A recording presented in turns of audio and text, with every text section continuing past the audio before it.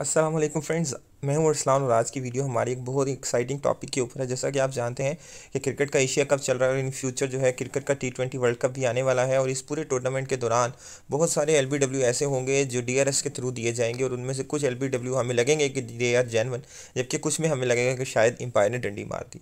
तो आज की इस वीडियो में मैं आपको वो तमाम रूल्स बताऊँगा जिसकी बुनियाद पर कोई भी एम्पायर या थर्ड एम्पायर किसी भी प्लेयर को आउट या नॉट आउट डिक्लेयर करता है और वो जो स्टेप्स हैं वो बहुत ज़्यादा सिंपल हैं बट थोड़े से ट्रिकी हैं। तो वीडियो आपने एंड तक देखनी है ताकि कोई भी इन्फॉर्मेशन आप मिस ना करें।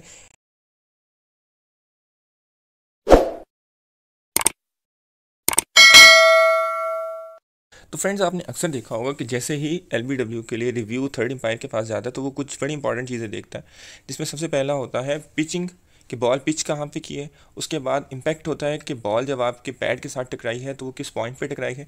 और उसके बाद ये होता है कि क्या आपकी बॉल अगर प्रोजेक्टाइल मोशन के ज़रिए से हम देखें तो वो आपकी विकेट को हिट कर रही है कि नहीं कर रही? मगर इन तीनों पॉइंट्स के ऊपर बॉल कहाँ पर होनी चाहिए? राइट साइड बैट्समैन के लिए कहाँ पे होनी चाहिए? और अगर एक लेफ्टी है, उसके लिए कहाँ पर होना चाहिए? बॉलर की डायरेक्शन कहाँ से होना चाहिए? या बॉलर स्ट्रेट बॉल करवा रहा है या राउंड द विकेट करवा रहा है? तो ये बेसिकली फैक्टर होते हैं जो डिसाइड करते हैं कि आपका जो प्लेयर है, वो आउट हुआ है कि नहीं हुआ। सबसे पहले अगर हम पिच की बात करें तो बॉल के लिए लाजमी है कि बॉल या तो बैट्समैन के ऑफ़ साइड पे पिच करें, या मिडल ऑफ़ द स्टम्प पे पिच करें। लाइक अगर आप दोनों विकटों को आपस में मिलाएँ तो जो एक पट्टी बनती है, या तो आपकी बॉल उधर पिच होनी चाहिए पैड में लगने से पहले, या ऑफ़ साइड पे होनी चाहिए। अगर आपकी बॉल लेग साइड पे हिट हो के आपके बैट्समैन के पैड पे लगेगी तो किसी तौर आपको आउट नहीं दिया जाएगा।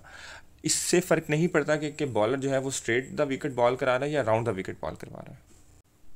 सेकेंड नंबर पे आता है इम्पैक्ट इम्पैक्ट एक्चुअली वो पॉइंट है जहाँ पे आपकी बॉल आपके पैड के साथ टकराती है। मगर इसके लिए लाजमी ये है कि आपकी बॉल आपके बैट या आपके ग्लव्स के साथ किसी एरिया से टच ना की हो।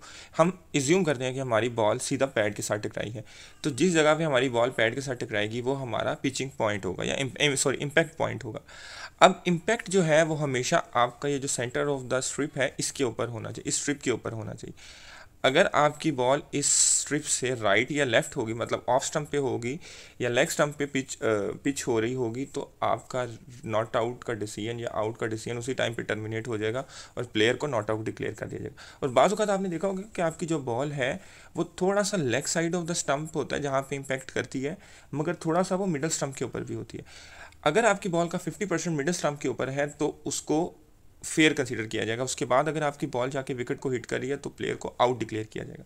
मगर अगर आपकी बॉल मिडल स्टम्प के अंदर थर्टी परसेंट है या ट्वेंटी परसेंट है तो डेफिनेटली आपका रिव्यू जो है वो आगे कंटिन्यू नहीं किया जाएगा। सो so ये बेसिकली एक ट्रिकी पार्ट है कि जैसे हमने कहा कि पिचिंग के अंदर बॉल जो है वो लेफ़्ट साइड या मिडल ऑफ़ द स्टम्प पे टच होनी चाहिए।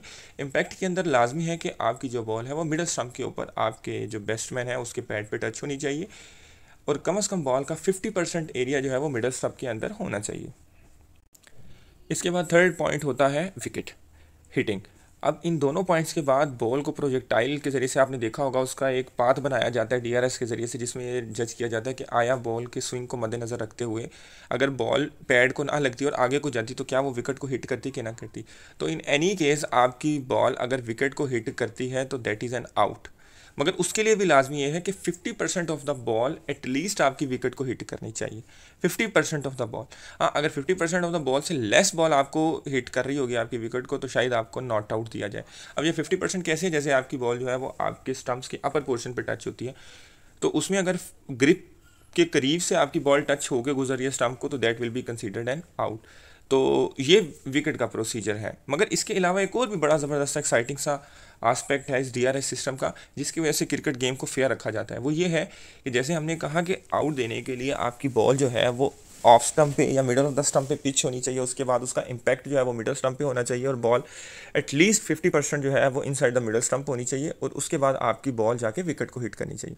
मगर जब टेस्ट मैच चल रहा होता है तो आपको पता है बहुत सारे प्लेयर जो है वो सिर्फ़ अपनी पैड के ज़रिए से बॉल्स को रोक रहे होते हैं, अपना बैट नहीं लगा रहे होते कि कहीं एज ना निकल जाए। तो उस चीज़ को फेयर रखने के लिए आईसीसी ने ये किया है अब कि अगर तो आपने बॉल को हिट करने के लिए अटैम्प्ट किया like you are playing for a duck और आप सिंगल लेना चाह रहे हैं मतलब आपने अपने बैट को स्विंग किया है तो फिर तो ये सारे रूल अप्लाई होंगे।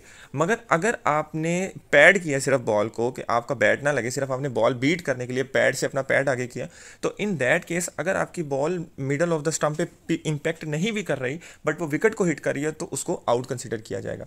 तो मैं उम्मीद करता हूँ कि ये सारे के सारे रूल्स जो हैं आप समझ गए होंगे, इसके बाद आप फैसला कर सकते हैं, जो भी आपको कोई भी जो एलबीडब्ल्यू है, आपको अनफेयर लग रहा हो तो आप प्लीज़ इस वीडियो को साथ देखें, इस पिक्चर को देखें और इसके बाद फैसला करें कि क्या वो आपका आउट जो है, वो जेनवन है कि ये नहीं है। अगर वीडियो अच्छी लगी है तो लाइक कीजिएगा और जैसे अभी क्रिकेट का सीज़न ऑन है, अपने फ्रेंड्स के साथ भी शेयर करें ताकि वो भी इस टेक्नोलॉजी को अच्छे तरीके से समझ सकें, इसके डिसीजंस को और क्रिकेट गेम को अच्छे से इंजॉय कर सकें। वीडियो देखने के लिए शुक्रिया थैंक यू अल्लाह हाफिज़